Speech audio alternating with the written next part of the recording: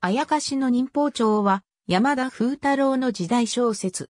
1969年に発表された忍法帳シリーズの連作長編で小説宝石にて1969年1月号から同年8月号まで掲載された。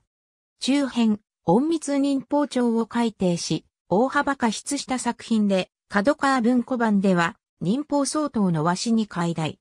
若年より、堀田正俊は、宮将軍を擁立せんとする大老、坂井忠清を失脚、紛死に追い込む。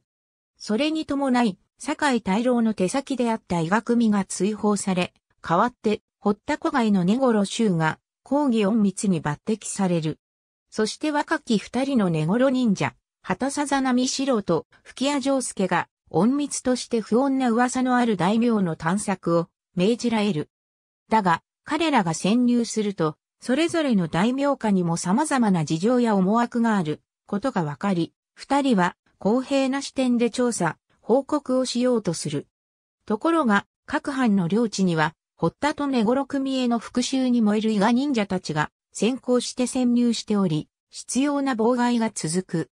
くの一忍法帳ホタル日のタイトルで、2018年4月3日から9月11日まで、毎月第1、第2火曜日に BS ジャパンで放送されていた山田風太郎の小説忍法相当の和紙を原作としたテレビドラマ。主演はベッキー。全12話。忍法相当の和紙に関するカテゴリー、くの一忍法帳ホタル日に関するカテゴリー。ありがとうございます。